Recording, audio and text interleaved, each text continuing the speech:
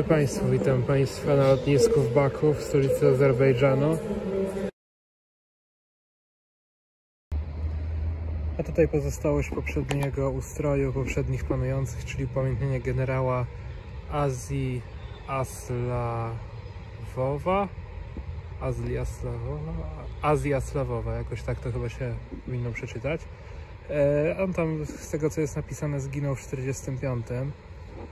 No oni akurat nie mają. Jeżeli chcą upamiętniać swój wkład w pokonanie e, III Rzeszy w, II wojnie światowej, no to niestety nie mają takiego wyboru jak my, gdzie mamy, mamy bardzo duży wybór. Oni niestety mają tylko żołnierzy Armii Czerwonej, no taka historia. A tutaj jest jakby meczet męczenników, który jakby jest jakby połączony z tamtym cmentarzem wojennym męczenników wojennych. Jak on wygląda od zewnątrz. Generalnie jest setna rocznica urodzin pierwszego prezydenta Hadara Alijewa. O. Teraz e, on już nie żyje, bo on zmarł w 2003. Od 2003 jest ten sam prezydent tutaj, więc to tak można powiedzieć standard rosyjski trochę niestety. Generalnie w tych stronach popularne są lokale zajmujące się serwowaniem tylko szwarmy, czyli takiego ichniejszego kebaba. Tutaj jest, w takim dosyć też majestatycznym budynku jest uniwersytet. W tym budynku mieści się Azerska Akademia Sztuki. Przyjechałem na przedmieście Baku, żeby zwiedzić taki oto meczet. Zobaczymy, czy się uda wejść do środka. Tam jest widok na całe miasto w tu jeszcze lokalna społeczność muzułmańska ma cmentarz na takim wzgórzu. Fajnie wygląda.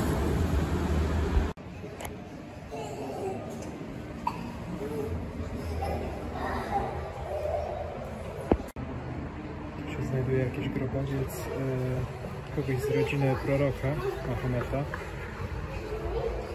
Zamieszczę adnotację. Tutaj mamy budynek lokalnego Centrum Kultury. Tak to wygląda. Jedziemy do metra i jedziemy na przedmieście do takiego meczetu fajnego podobno. Z zieloną linią. A jak widać dosyć głęboko się zjeżdża, ale co ciekawe zasięg cały czas jest, więc na plus. No i dotarłem do meczetu Hejdar, naprawdę robi wrażenie. Ale no szkoda, że już nie jest taki jak w Uzbekistanie, taki kolorowy, tylko taki piaskowy. No, a tutaj jak widać już głęboko na przedmieściach to jest. Ale bloki w miarę dobrze utrzymane, chociaż są z elewacją jak u nas. Chciałem do środka wejść, a trafiłem na jakieś modlitwy akurat. Ale w sumie dzisiaj piątek, to jest ten... Chyba u muzułmanów Dzień Święty, czy jakoś tak, nie wiem. No chyba tak będzie, bo w Arabii Saudyjskiej mają wolne w piątki właśnie. No. A tutaj... No najwyżej jutro jeszcze przyjadę, żeby wejść do środka. A tutaj mamy widok na Baku, na część przedmieści. A tam też na przykład widać nowe miasto, nie? Z kolei tu tam już w oddali widać tereny niezagospodarowane, tak? No. Bo to jest na takim wzgórzu ten meczet stoi. No.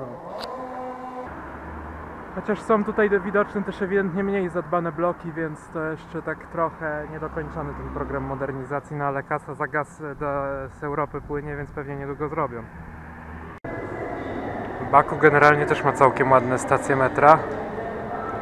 Zadbane. Też z marmurowym wystrojem. Takimi elementami wystroju jakimiś tam e, pojedynczymi, dodatkowymi. W dodatku jest bardzo fajne, czytelne.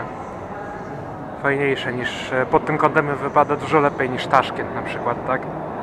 A Taszkent był lekko nieczytelny z kolei. A tutaj jest wszystko czytelnie oznaczone. Jedziemy sobie ulicą Nizami, to jest taka tutaj chyba taki deptaczek i w tym, tą ulicą też się da dojść na Stare Miasto takie typową, taką typową starówkę tutaj a tu jest pełno knajp jakichś punktów usługowych i tak dalej, i tak dalej o i ta ulica prowadzi do takiego placu gdzie są kamieniczki właśnie z punktami usługowymi na dole. No. Tak to wygląda. A ja mówię, cały czas zmierzam na stare miasto tutejsze. Tutaj mamy pomnik Izawi Ganoziego. Eee, tak on wygląda, bardzo ważne miejsce zajmuje. Jest to ten, ten sam człowiek, którego imieniem nazwana jest ulica, którą wcześniej pokazywałem. A tutaj mamy Azerskie Muzeum Literatury w tym oto budynku. O, a tam się zaczyna to stare miasto za tamtym murem i za tamtą wieżyczką. Co widać.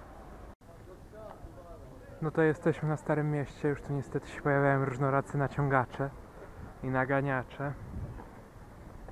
No, ale tak wygląda Stare Miasto w Baku. Przechodzi przez taką bramę, którą tam widać. I można zwiedzać. I w tą starówkę wkomponowany jest jeszcze meczet, który nie wiem gdzie ma wejście, to jest ciekawe. O i tu są takie wąziutkie przejścia, uliczki. Kotki. I tu jeszcze taka uliczka przy samym murze obronnym. Zaczyna się mój ostatni dzień w Baku. Przyjechaliśmy na końcową stację linii metra czerwonej. Yy, idę zobaczyć coś takiego jak Pałac Szachów Szerywanu. Chyba tylko z zewnątrz, bo w opiniach piszą, że nie warte 15 manat, czyli ponad 30 zł. No to zaraz zobaczymy, jak to wygląda od zewnątrz chociażby. No to jest taki park z taką fontanną. Co ciekawe, fontanny wszystkie są w dzień wyłączone, nie wiem czemu. Yy, Jest jakaś taka rotunda, ale ja w złą stronę poszedłem w stosunku do tego, co chciałem zobaczyć, więc muszę się wrócić. Tutaj mamy pomnik tego człowieka z opisaną historią w postaci takiego popiersia. A pałac jest tam na górze. O, tutaj mamy ten pałac. Wraz z meczetem. Tu obok. Zasłonięty jest przez jakieś badziewie. No, więc tak to wygląda.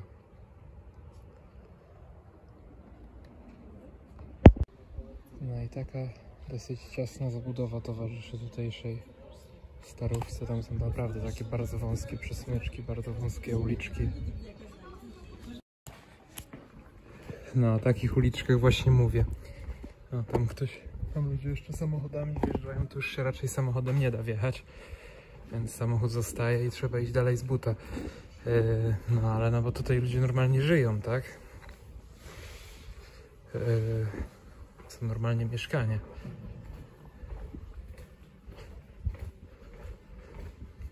No taki to taki to tutaj jest klimat na tym starym mieście. No tam w głównych alejkach już jest pełno takich właśnie naciągaczy na różne jakieś wycieczki, na jakieś tam no wkurza mnie to generalnie. A tutaj z kolei uliczka porośnięta bluszczem. A tu sobie ktoś zrobił taras na dachu. No bo jest fajny widok w sumie. Nie ma co. Stąd. Tam widać Morze Kaspijskie. Idąc po takich uliczkach człowiek się zastanawia, czy czasem zaraz komuś w podwórko nie wejdzie. To jest naprawdę. Taki to ma tutaj mniej więcej klimat. No a to z tych uliczek czasem widać te ogniste wieże. Akurat nie z tej, bo chyba jesteśmy w złą stronę ustawieni, ale takie właśnie połączenie z futurystycznymi budynkami takich starych, zapomnianych uliczek. A tutaj nawet zrobili mural z tym starym miastem. Tutaj są pod szkłem jakieś takie ruiny. Tylko ktoś tutaj spieprzył konstrukcję i się chyba wody za dużo dostaje pod spód i szyby parują. Ale no są jakieś kawałki chyba yy, starszych zabudowań. Zresztą to jest tabliczka, która opisuje cóż to takiego było. Mm. Water Treatment System. A, a, nie dziwne, że woda podchodzi jak to jakiś był system irygacji. W 2017 odkryty dopiero. Ale tu ładnie po tym zejściu w boczną drogę, trochę taką przy murze. Ładnie tu jest zrobione, trzeba przyznać. Tutaj widać, że niektóre z tych drzew, drzew są owocowymi drzewami. I tu kwitną owoce, znaczy kwitną, wiszą owoce. Kwitnąć to kwitnęły jakiś czas temu. No taki fajny skwerek, no. Jeszcze też jakiś pomnik czyjś. Ale poruszanie się po tym jest jednak dosyć ciężkie, nawigacje. Mówię, bo to jest tak napchane, no niemiłożebnie. Tutaj mamy statuę Sabira. O, tam jest e, budynek e, Akademii Militarnej, który podobno jest zaprojektowany przez Polaka. Jest taki polski akcent. Przejdziemy na drugą stronę ulicy, żeby go ukazać w całej okazałości. I tak on wygląda, ten budynek od zewnątrz, zaprojektowany w XX wieku przez architekta Józefa Połoszko. No, fajnie wygląda. Od tamtej strony, jak tak, tak się na niego patrzy, to już trochę wymaga renowacji, no ale i tak wygląda fajnie. No. Fajne okno, takie przejrzyste, fajne zdobienia, no wygląda elegancko. W tym budynku, w tym budynku po drugiej stronie ulicy mieści się Teatr Narodowy Azerbejdżanu. No i tutaj jest ta baszta dziewicza, wreszcie do niej dotarłem. Od strony tej ruchliwej ulicy, a nie od strony Starego Miasta, no ale tak to wygląda. Też taki fajny jest skwerek na dole i e, przy niej i tak to wygląda w całości. A tutaj widok na wieże ogniste. Tutaj jest jeszcze raz ta baszta. To jest taki mostek.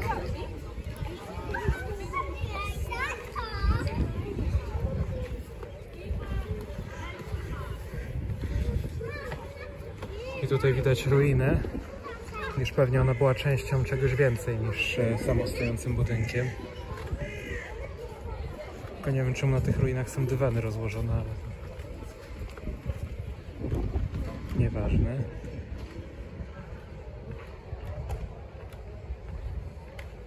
Jest wyjątek od reguły, ta fontanna pracuje w ciągu dnia. No tutaj takie też fajne budynki całkiem. Fajny jest ten, z taką kratą, w takim e, dziwnym kształcie. Ale ja osobiście śmiało mogę powiedzieć, że najlepsze wrażenie zrobił na mnie ten oto budynek Filharmonii w Baku. No on wygląda przepięknie moim zdaniem. I żadne te pałace szachów i tak dalej się nie mogą moim zdaniem do niego umywać, bo ten mi się podoba zdecydowanie najbardziej ten budynek. A zaraz obok tej e, opery mamy jakiś budynek, ale to jest opisane na Google Maps jako siedziba firmy, więc nie wiem co, co to jest konkretnie. A tu jeszcze taki fajny widoczek na element murów Starego Miasta. O i tak przypadkowo natrafiłem na kolejny polski akcent.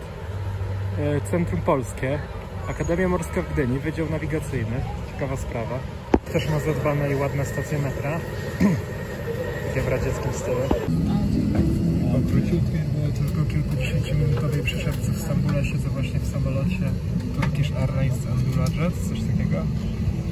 Eee, lecącym do Szwajcarii, do Zurychu. Także dziękuję za oglądanie odcinka z Baku, zapraszam do subskrybowania kanału. Będzie jeszcze odcinek z Zurychu, mojego krótkiego zwiedzania tego miasta. Do zobaczenia i cześć!